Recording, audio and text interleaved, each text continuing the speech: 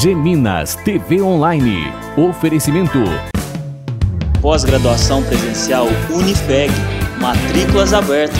www.unifeg.edu.br Venha e participe conosco da primeira Expo Pratinha, de 7 a 10 de maio. Shows, rodeios e muito mais. Participe conosco!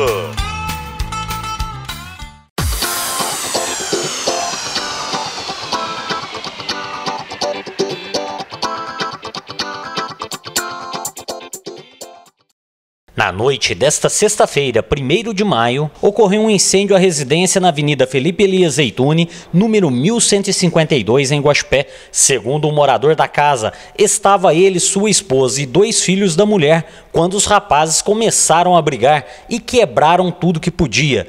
Um deles ateou fogo em uma das camas e fugiu em seguida. A polícia militar foi chamada e de imediato acionou o corpo de bombeiros que se deslocaram ao local com duas viaturas para combater as chamas. A moradia ficou toda queimada. Os bombeiros orientaram o casal a não permanecer na casa até o próximo dia para uma análise mais detalhada, pois há risco de desabamento em uma das lajes.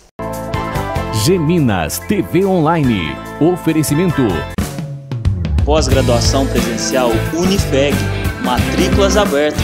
www.unifeg.edu.br Venha e participe conosco da primeira Expo Pratinha, de 7 a 10 de maio. Shows, rodeios e muito mais. Participe conosco!